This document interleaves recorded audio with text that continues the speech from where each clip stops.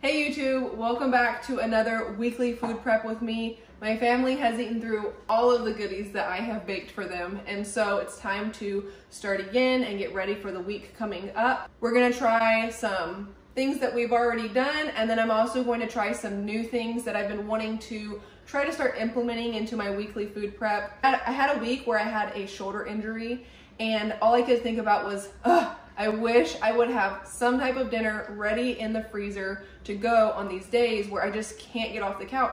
Or just days where I am just so busy that I don't have time to get into the kitchen for an hour and start cooking. And so my goal this week is to start putting one meal in the freezer a week to have for those days that I'm either super busy or life happens and craziness happens. And so I'm gonna try to do a freezer meal. This is going to be a first. Also want to do some old things like bread. I make bread every single week. My family eats through it like crazy. And so that's an essential in the house. And then we're gonna just switch it up as we go along. So grab a cup of coffee or grab a cup of tea and let's get cooking.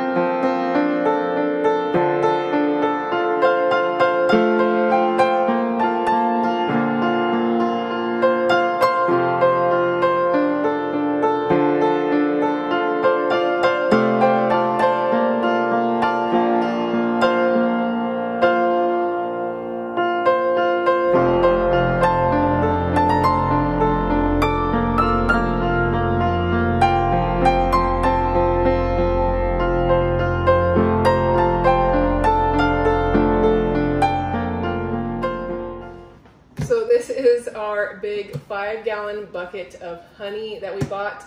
And I'm about to start some more recipes, but some of the recipes I'm actually going to need honey and my honey jar is empty. And so it's time to fill it.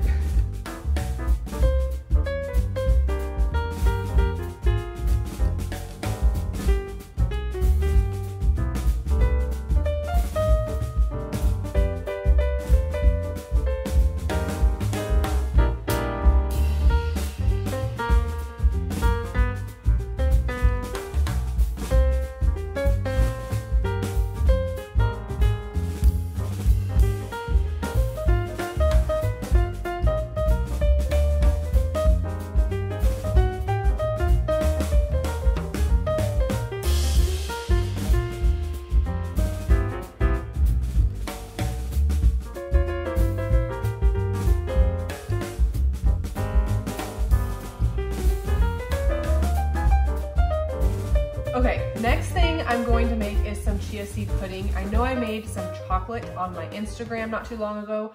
I actually, we have a lot of fruit in the house, and so I wanna make something that we could eat with the fruit as kind of like a breakfast or a dessert or a snack, something that's just really versatile. I'm actually gonna make it with some coconut milk, just trying to switch it up and do different things. The coconut milk is gonna give it a beautiful coconut flavor, which I'll really like with the fruit.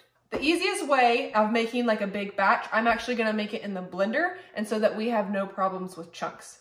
So I'm gonna make six jars of chia seed pudding and so I'm gonna actually need three of these coconut milks.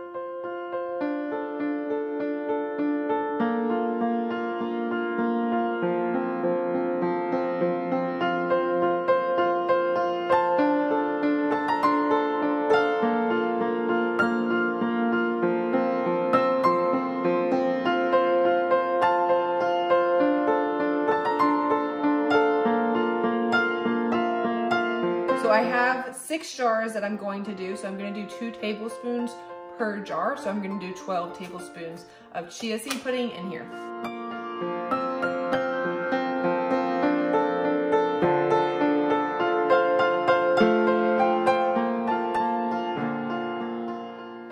I'm going to do a tablespoon of honey per jar, so six tablespoons of honey.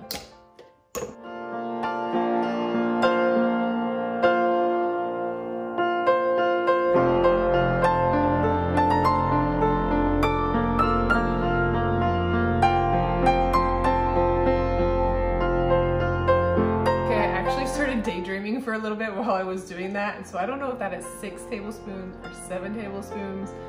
Either way, it'll turn out delicious. and then last, I'm just gonna put a little bit of salt in there just to enhance the sweetness of the chia pudding. So I did four really small pinches.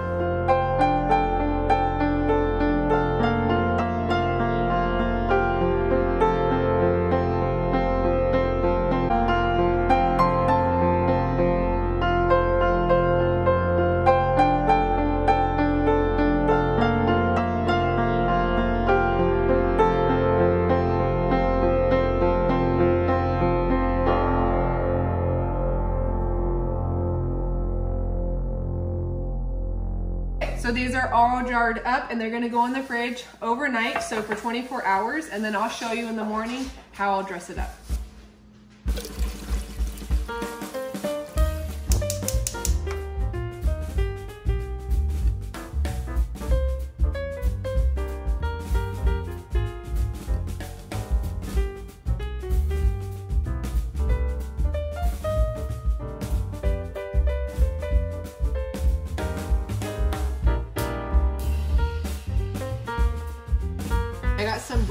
Pasta because we're gluten free, but you could just use regular pasta if that's what you and your family like.